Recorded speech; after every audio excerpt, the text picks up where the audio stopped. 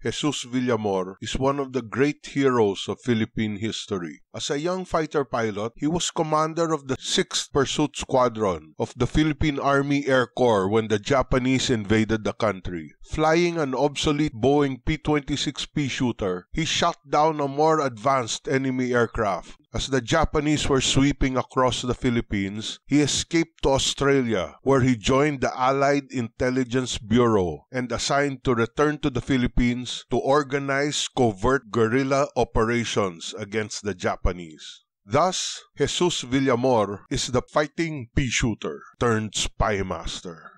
Born 1914 in Manila to Ilocano parents, his father, Ignacio Villamor, was an Associate Justice of the Philippine Supreme Court. Following the lead of his brothers, he studied at De La Salle College in Manila, and after high school, he took flying lessons at the Philippine Aerial Taxi Company, or PATCO. Years later, PATCO would morph into PAL, today's Philippine Airlines. In 1936, he joined the newly formed Philippine Army Air Corps, the PAAC, with the rank of lieutenant. He was ordered to go to the United States to continue his flight training, where he qualified for a number of aircraft types, including the Boeing B-17 Flying Fortress. Upon his return to the Philippines, he was promoted to captain and assigned as commander of the Air Corps Flying School, based at Zablan Field in Camp Murphy, today's Camp Aguinaldo. Among Villamor's students at the flying school was the Chief of Staff of General Douglas MacArthur, an aging colonel named Dwight Eisenhower. Eisenhower learned to fly in a Stearman Model 75 biplane, and Villamor would grade him as a poor pilot but a good student.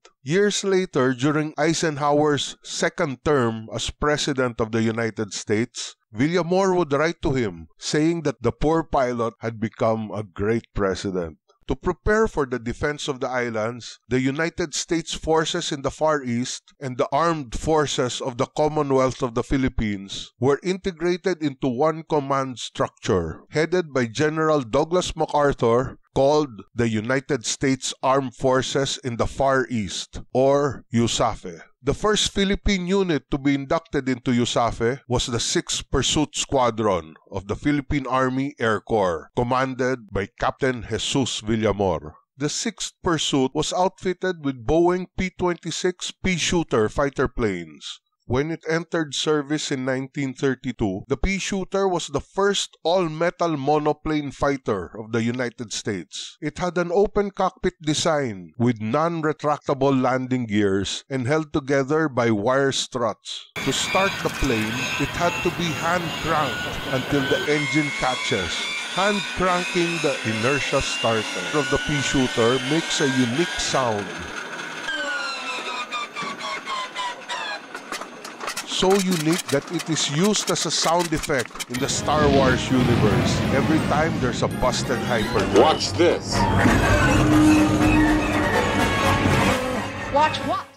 By 1941, the frontline U.S. fighter plane, the Curtiss P-40 Warhawk, as well as the main Japanese fighter plane, the Mitsubishi A6M Zero, were both more sleek and powerful compared to the slow, stubby Peashooter. The P-26 was also at a disadvantage in terms of armament, armed only with 30 caliber Browning M1919 machine guns. Compare that with the P-40's 50 caliber Browning M2 heavy machine guns and the Zero's 20 millimeter cannon with high explosive rounds. The P-26 Peashooter had become wholly outgunned and obsolete. War became a reality for the Philippines on December 8, 1941. Ten hours after the attack on Pearl Harbor, Japanese Imperial Navy planes of the 11th Air Fleet smashed half of the U.S. Far East Air Force at Clark and Iba Field. For a detailed narrative of the attack on Clark Field, please click on the link shown above. In the next few days, the Japanese Army and Navy continued air attacks all across the island of Luzon, systematically wiping out MacArthur's Far East Air Force. On the morning of December 10, the Philippine Army Air Corps base at Zablan Field was alerted by the sound of ringing church bells. Led by Captain Villamor, the pilots of the 6th Pursuit Squadron scrambled to their pea shooters. They could see the Japanese planes nearing from the distance as their crews labored through the time-consuming engine start procedure, hand cranking those inertia starters until the cold engines finally breathed to life. Without engine warm-up, they taxied their way to Zablan's short runway and took to the sky just as the enemy Zeros started their strafing run. As Villamor got airborne, a Japanese Zero immediately got on his tail to engage him. He flew to the ridgeline at the far end of the runway and dove down into the Marikina Valley below, the Zero following close behind him. Villamor was the epitome of the hotshot fighter pilot, every bit as confident and cocksure as his American counterparts. He was certain he could defeat the Japanese aircraft. At 500 feet, Villamor executed the tightest turn he ever attempted in his career, trying to get behind the enemy. The Zero continued to follow him effortlessly through his turn. Again and again, he tried to outmaneuver the enemy plane, yet the Zero was able to stick to him like glue.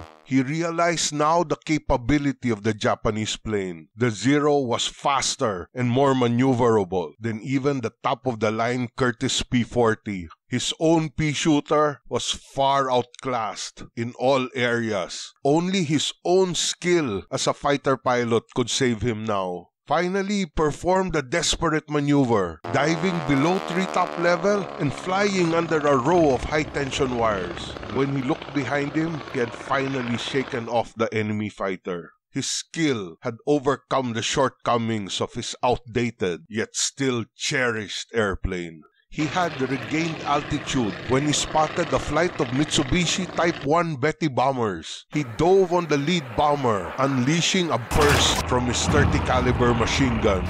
Smoke poured out of the Japanese aircraft as it started to lose control. Villamor just scored the first confirmed kill by a Filipino fighter pilot. After the battle, due to the damage to the airfields around Manila, the 6th Pursuit Squadron moved south to Batangas Field, a small airstrip in today's Batangas City. On December 12, the pilots of the 6th Pursuit Squadron were again alerted by the distant ringing of church bells. Five P-26 Pea shooters took to the air with their commander Captain Villamor in the lead.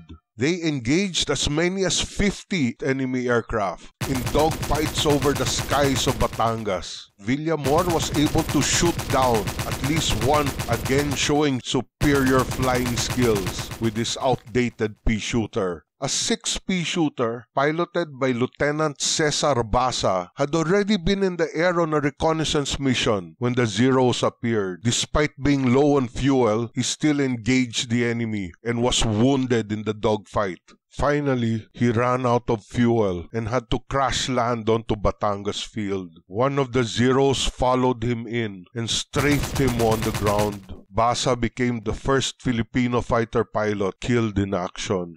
With their skill and sacrifice, the outnumbered 6th Pursuit Squadron in their puny pea shooters had successfully repelled the bombing of Batangas by a superior enemy force. In honor of Cesar Basa, an Air Force base was named after him. Fittingly, the Basa Air Base in Pampanga is today home of the Philippine Air Force 5th Fighter Wing, responsible for the defense of Philippine airspace with their fleet of KAI FA-50 Fighting Eagle multi-role combat aircraft. Jesus Villamor was awarded the Distinguished Service Cross with Oak Leaf Cluster for his actions on December 10 and 12. The medal was pinned to his chest by General Douglas MacArthur himself.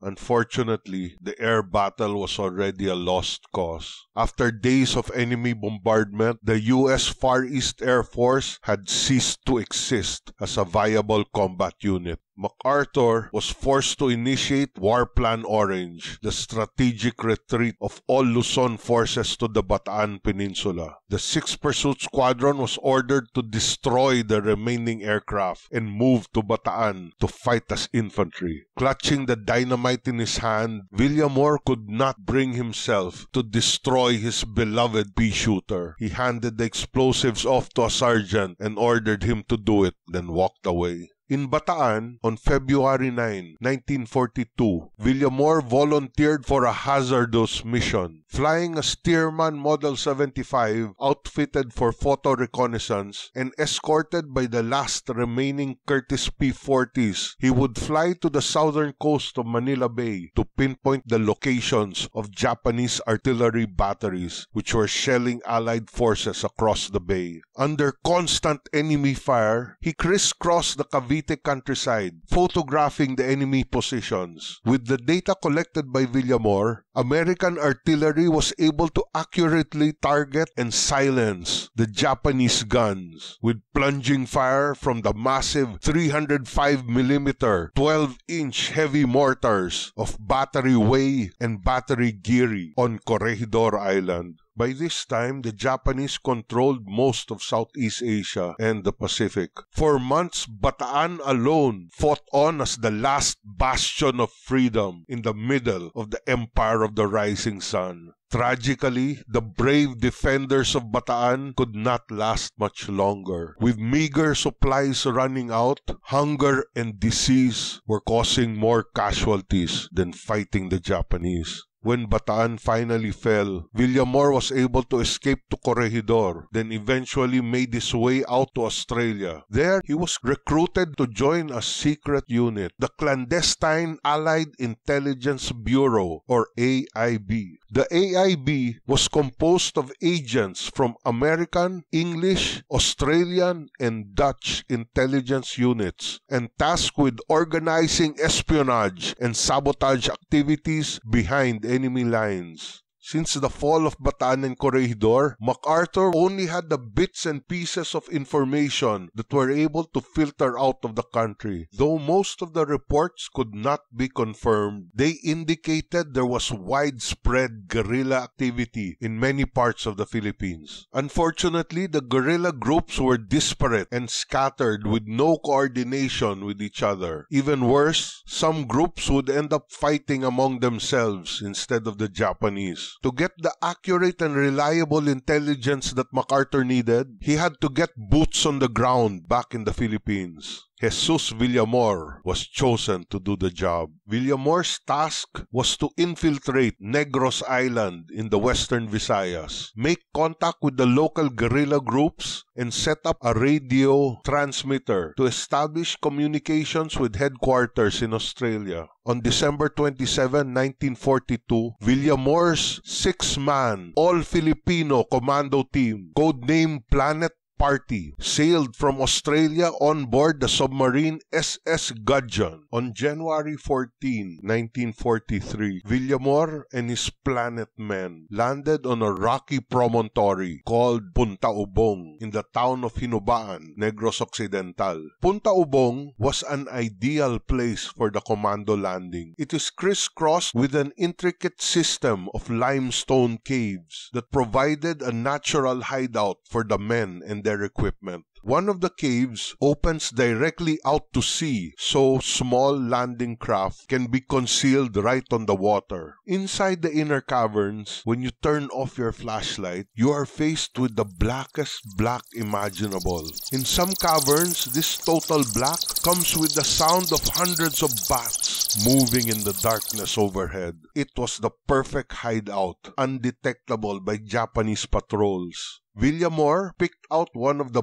bat-free caverns and made it his base of operations. From here, he set up his radio equipment and successfully established contact with Australia. After months, MacArthur once again had eyes and ears on the ground in the Philippines. Villamor proceeded to the next phase of his mission, meeting and coordinating with the different guerrilla groups on the island. First contact was made with the guerrilla unit composed of former students and faculty of Silliman University, led by the American Roy Bell and the Filipino Salvador Abcede. They operated in the jungle-covered mountains of southern Negros it became evident that indeed the scattered groups were uncoordinated and sometimes hostile to each other. Villamor helped unify the Negrense resistance movement into a coordinated command structure, with Abcede as head of the Negros Military District and civilian leadership under fellow Negrense Alfredo Montelibano Sr., governor of the Free Negros government.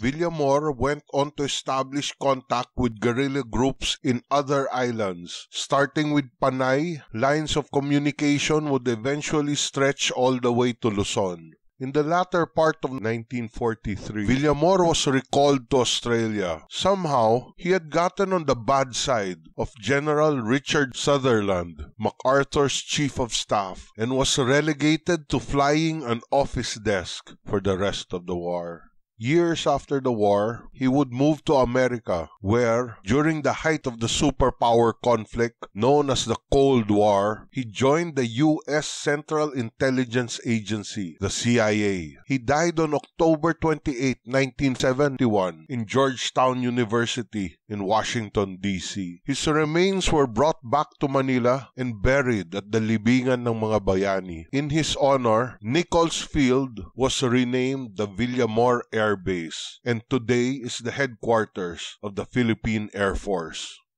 Here ends the story of Jesus Villamor, Lasallian, fighter pilot, spy, hero. Salamat po.